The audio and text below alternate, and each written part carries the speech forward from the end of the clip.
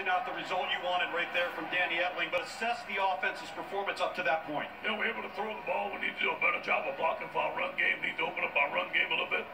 You've exploited their tack guard to guard group with your defensive front. They've kept Lamar Jackson in the pocket for the most part. What adjustments are you expecting them to make coming out of the third We're quarter? try to throw the ball deep. we got to eliminate the big play, keep on playing the defense we're playing, and run the ball on offense. Thanks, Coach.